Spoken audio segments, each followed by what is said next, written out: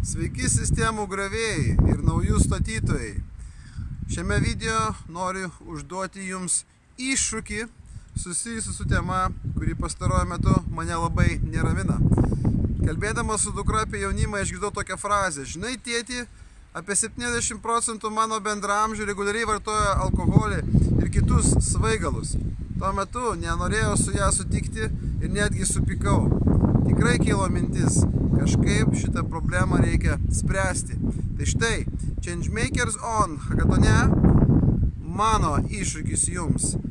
Suraskite būdą, kaip padaryti taip, kad jaunimo tarpe alkoholis ir kiti svaigalai nebūtų vienintelė priemonė tapti hebros dalim, e, surasti draugų ir taip toliau. Sėkmės!